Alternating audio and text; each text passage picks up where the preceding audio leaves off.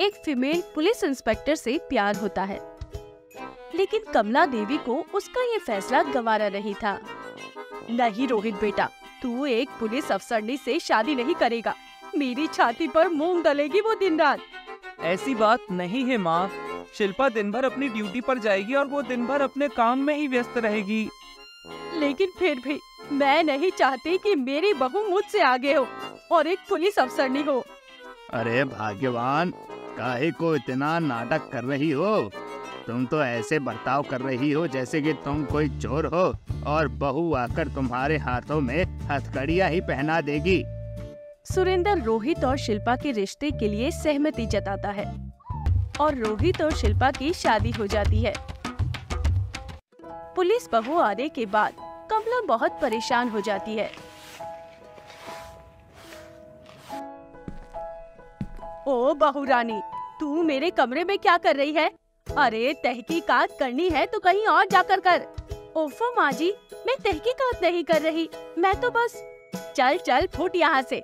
और हाँ खबरदार जो आइंदा से मेरे कमरे में आई तो वरना मैं तेरी टांगे तोड़कर तेरे हाथ में दे दूँगी।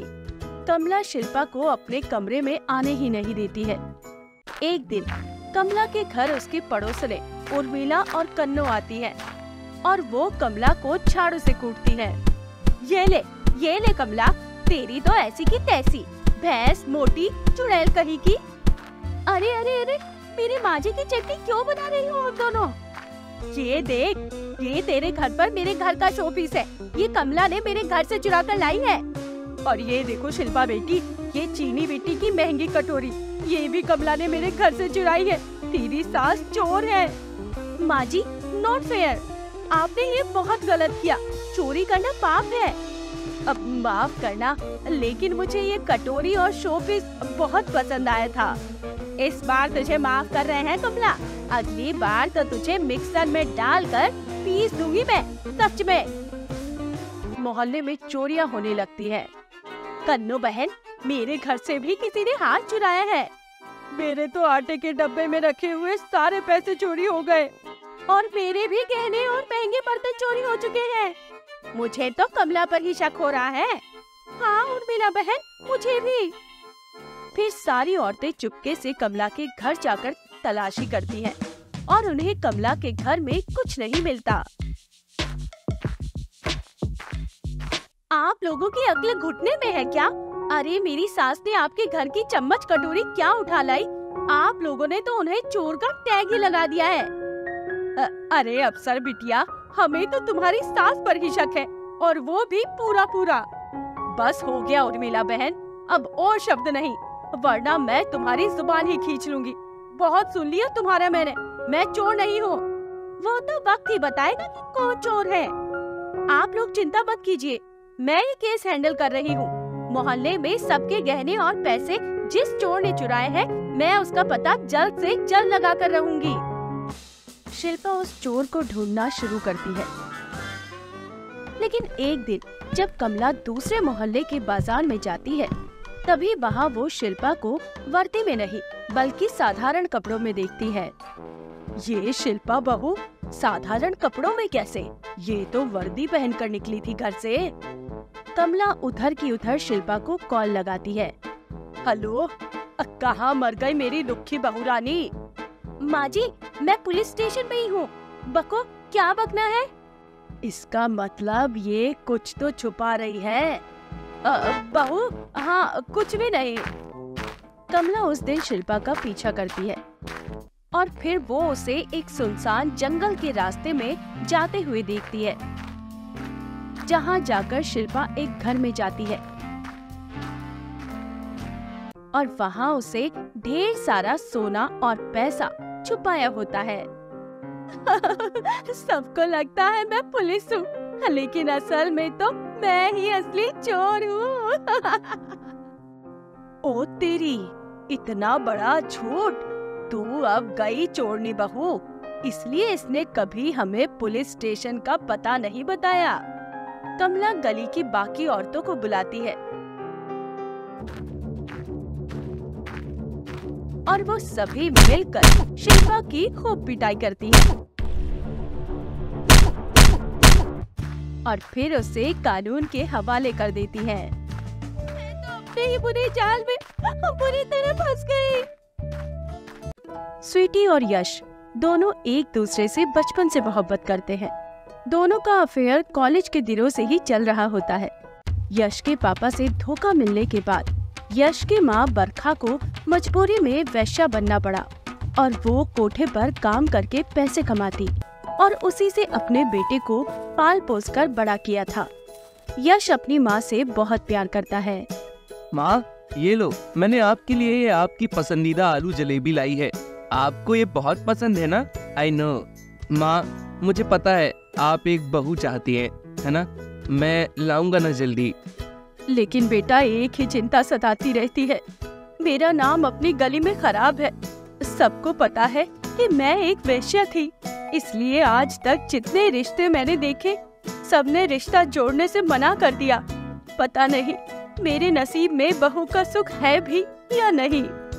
यश अपनी कंपनी के मालिक की बेटी स्वीटी के साथ अफेयर में होता है। मेरी जहर जबी, तुझे मालूम नहीं। तू अभी तक है हँसी और मैं जवान। तुझ पे कुर्बान मेरी जान मेरी जान।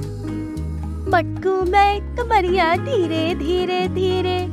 सैया जी सामने बैठे जाम पीरे पीरे पीरे। मेरे नोटी सैया जी जी जी जी जी। क्यों पीते हो इतनी tea tea tea tea love you sweetie my sweetheart I love you too Yash baby. Sweetie तुम्हारे घर वाले एक वैश्या के बेटे को अपने दामाद के रूप में स्वीकार करेंगे? तुम्हें क्या लगता है? मुझे भी उसी बात की टेंशन है Yash baby finger cross I just hope कि सब कुछ सॉर्ट आउट हो जाए, सही से। स्वीटी और यश दोनों, स्वीटी के मॉम डैड इंद्रपाल और वंदना को सब कुछ बता देते हैं। तभी इंद्रपाल तो मान जाता है, लेकिन वंदना गुस्से से लाल हो जाती है। तुम्हारे दिमाग में गटर का कचरा भर गया है क्या, स्वीटी? एक वैश्या सास चाहिए तुम्हें। लेकिन माँ, वैश्या होना कोई बीमारी या गुनाह थोड़ी है। जैसे हम अपने पेट को पालने के लिए, दो वक्त की रोटी खाने के लिए काम करते हैं, वैसे ही वो भी एक काम ही है ना। तो फिर ये समाज उन्हें कलंक क्यों समझता है? वंदना, स्वीटी बिल्कुल सही कह रही है। यश एक बहुत ही अच्छा लड़का है। मेरी कंपनी का one of the best employee है वो। और स्वीटी की माँ पहले एक वैश्या थी। अब तो नहीं है ना? और सबसे बड़ी बात यश ने ये बात हमसे छुपाने की जगह हमें सबसे पहले आकर बताई है। और कितने गुड पॉइंट्स बताऊँ यश के। वंदना आंटी अब प्लीज़ मान जाइए ना। मैं और स्वीटी एक दूसरे से बहुत प्यार करते हैं। हाँ माँ बरखा आंटी भी बहुत अच्छी है। लोगों का क्या है? कुछ तो लोग कहेंगे। लोगों का तो काम ही है कहना। नहीं मतलब नहीं। मैंने कह दिया सो कह दिया। तुम इस वैश्या के बेटे से शादी नहीं करोगी, स्वीटी। हरगिज नहीं। वंदना, स्वीटी और यश के रिश्ते को मना कर देती है। जिस कारण वो दोनों बहुत दुखी हो जाते हैं। और उनसे भी ज़्यादा, बरखा को बहुत ज़्यादा दुख होता है। मुझे माफ़ कर दे यश बेटा। सारी मेरी ही गलती है। मेरे कारण ही तू और स्वीटी आज इतने दर्द में हैं। नहीं माँ इसमें आपकी कोई भी गलती नहीं है।